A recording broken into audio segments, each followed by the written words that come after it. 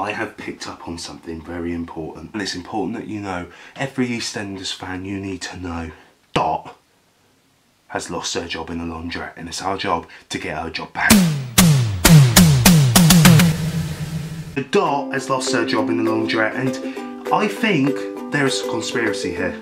Ever since she lost her job, everything's been going not great, but it's been going a lot better in Walford.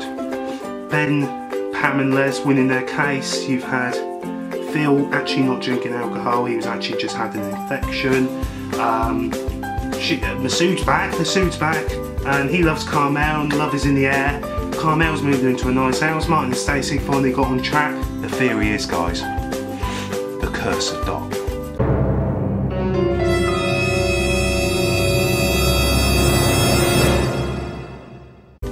Ever since went out everything's been going great. Everything's been going lovely. Could be, it could be better, but everything's not been as EastEnders fashion. You've been sleeping with her, ain't ya? Or have you? Get her. And then Danny Carr's like, right, Matt. I don't know what I can.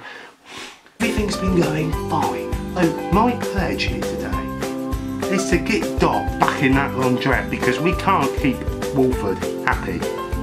When Walford's happy, ratings are down, alright? We gotta get back to misery. The thing that I don't get about EastEnders is you wouldn't live there. You just wouldn't live there. So I was a housing officer, right? And they came up to me and they said, the area's great, the area's brilliant. Oh yeah, oh yeah. So uh, any gossip round here at all? Any, any news? No, not really. You know, we just had uh, one kid battered to death. Really? Why? So basically it was a hate crime, long story short, couple devastated. Um, obviously his boyfriend's devastated as well. Oh, who's his boyfriend? His name's Ben. What's Ben like? Yeah, he killed someone years ago. His uh, auntie also kidnapped a baby, and she's also killed somebody. And then his dad is actually the thug of uh, Walford Square, which is uh, Phil Mitchell, but he's dying. And also, um, you know, he's had a lot of issues with drink and whatever. Any other killers in the square, you know, just joking. Oh yeah, it's quite a couple. So um, you've got um, obviously Ronnie, you got Ben, you got Stacey, she killed um she killed another bloke. Her ex, her ex also killed someone as well. You can see where I'm going with this. So guys, it is our job to get Dot's job back.